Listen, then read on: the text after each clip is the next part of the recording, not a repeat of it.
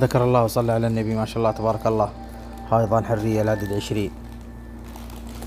الضان تبيع قرايب فيها واحدة والد والباقي كلها دفيع أسنانها من جدع إلى سدس ما فيها العود الموقع المملكة العربية السعودية الدوادمي والتفاصيل أكثر.